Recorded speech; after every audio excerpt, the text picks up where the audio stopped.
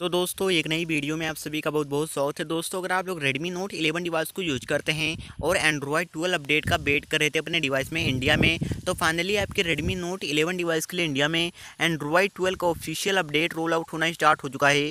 जैसा कि देख सकते हैं, इस नए अपडेट का जो मी वर्जन देखने को मिलता है थर्टीन पॉइंट आई देखने को मिलता है, यानी कि इंडिया में रिलीज़ किए गए इस नए अपडेट का जो साइज़ देखने को मिलता है टू देखने को मिलता है। अगर हम लोग इस अपडेट के चेंजलॉक की बात करें stable cable MIUI based on Android twelve साथ ही साथ आप लोगों को जुलाई 2022 का नया सिक्योरिटी पैच लेवल भी देखने को मिलता है।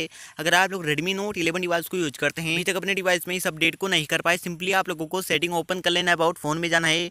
मी वर्जन पर क्लिक करके अपने डिवाइस में इस नए अपडेट को कर लेना है। अगर आपके डिवाइस में अपडेट शो नहीं हो रहा है तो इस अपडेट का जो ओ फ़ाइल का लिंक है, हमारे टेलीग्राम चैनल टेक्निकल सिमजी पर देखने को मिलेगा, जैसा कि देख सकते हैं। तो इसका जो लिंक है, इस वीडियो के डिस्क्रिप्शन में दिया हो, या फिर आप लोगों को सिंपली टेलीग्राम पर टेक्निकल सिमजी सर्च करके आ जाना है। अपने अपने डिवाइस में ओ फ़ाइल से अपडेट को कर लेना है और हमें नीचे कमेंट करके बताइए कि आपके डिवाइस में यह अपडेट मिला है नहीं मिला। ये था इस वीडियो में। वीडियो अच्छी लगी तो लाइक कर दीजिए। अपने दोस्तों के साथ शेयर करना मत भूलिए। साथ ही साथ और ऐसे वीडियो देखने के लिए चैनल को सब्सक्राइब कर लीजिए।